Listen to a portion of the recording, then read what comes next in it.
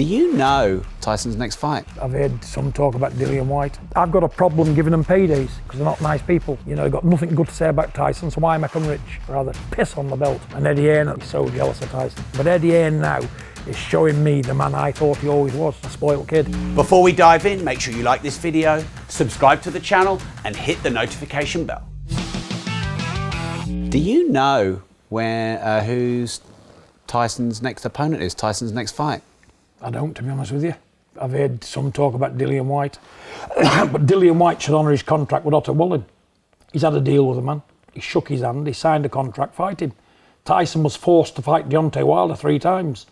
He should be made forced to fight Wallin, honour his engagement, then fight Tyson, and let Tyson fight somebody else.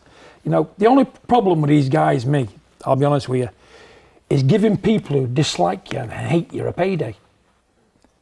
That's how it's got me these days because those people haven't got one good word to say about Tyson, yet they want to get rich off Tyson. Now, we all know in my mind's eye now, I know boxing inside out, that this injury, if there was an injury, alleged injury, I'm giving him the benefit of the doubt. Say he is injured. Give him a few, we can reschedule. You know, if he's not confident of beating Otto Wallin, which that's why he's not fighting him, how's he going to beat Tyson? But I've got a problem giving them paydays because they're not nice people. They've got nothing good to say about us. You know, they've got nothing good to say about Tyson, so why make them rich? Rather piss on the belt and chuck it in the bin and make people like that rich. Mm. That's the truth of the matter. Nice people, sporting men, proper men, you'd want them to have the fight and get on. But them kind of men, no. Mm. No. I don't respect them as men anymore because little things they do put you off them you know. And if you can't admire a man's greatness instead of making excuses why he's great, I'm looking for the bad in people instead of the good. Are they worth making millionaires out of? I say not. Mm. And that's what grates me, to be honest. Mm. If I had my way to get nothing off me unless it was nice. That'd be nice to me and say good things and honour me as a champion I am and respect me for the champion I am or they get nothing out of me.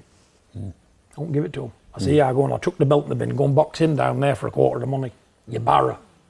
You know, but Tyson, can they afford him? I say not.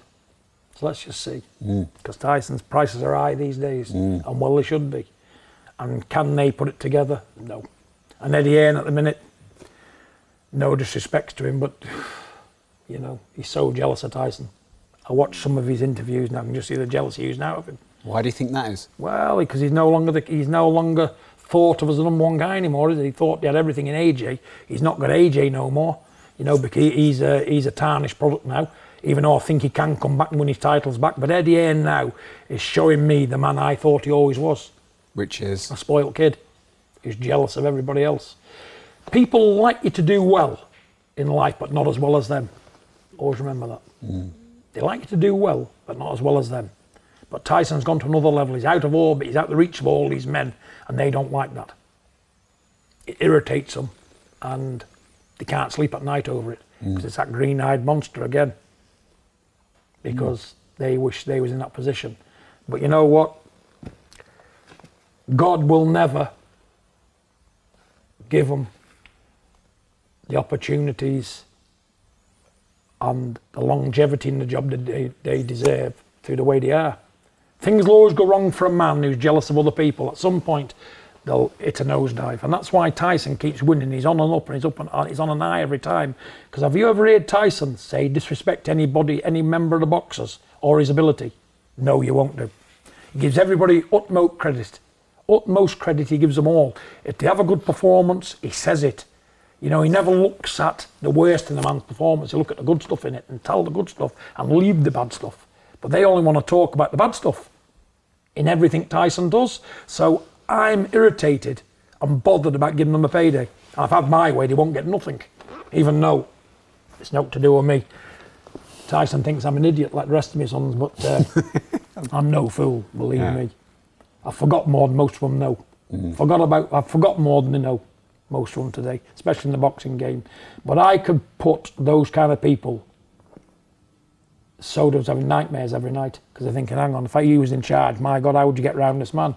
I want to get the most money out of them possible because I know they don't like parting with it. And I want to make it as awkward as possible for them because they're not nice folk, are they? Nice people get the last they had to, I'd help. Hmm. From the bottom of my heart. You know these kind of people live for money and possessions. And oh look at me and this new word they've come out with. Is it kudos? kudos. Every time I hear it, I feel like, well, blowing a top. It's all about kudos. I won't want to give them any kudos. I want them left hook under the jaw if I get away with it. that's what they deserve, not kudos. So I hope you enjoyed the video. Now, if you like this, we have a full, deep interview, the uncut, unedited version. So if you want to watch that, the link is below. But first, make sure you like this video and subscribe to the channel.